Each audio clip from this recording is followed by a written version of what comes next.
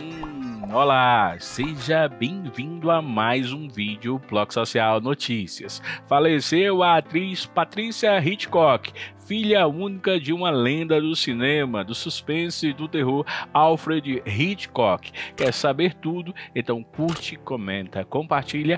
Bloco Social Notícias começando.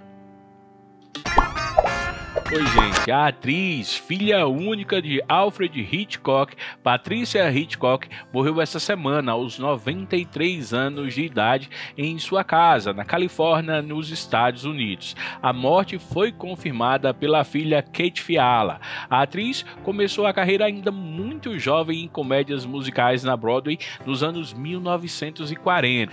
Depois, trabalhou em diversos filmes dirigidos por ninguém menos que seu pai, uma lenda do cinema cinema. Ela fez Pavor nos Bastidores de 1950 e Psicose, considerado até hoje um dos maiores filmes da história de 1960. Ela também atuou em Pacto Sinistro e sua personagem Bárbara Morton foi essencial nessa história, fazendo com que ela ficasse super conhecida. Hitchcock e a diretora roteirista Alma Revelli foram casados por 54 anos. Vale lembrar que Alfred Hitchcock faleceu em 19 1980 com insuficiência renal. Nos últimos anos de vida, Patrícia trabalhava somente com as obras, com as lembranças do pai e ele, com certeza, foi uma das maiores lendas do cinema. Eles entram para a história. Curta Psicose, excelente filme.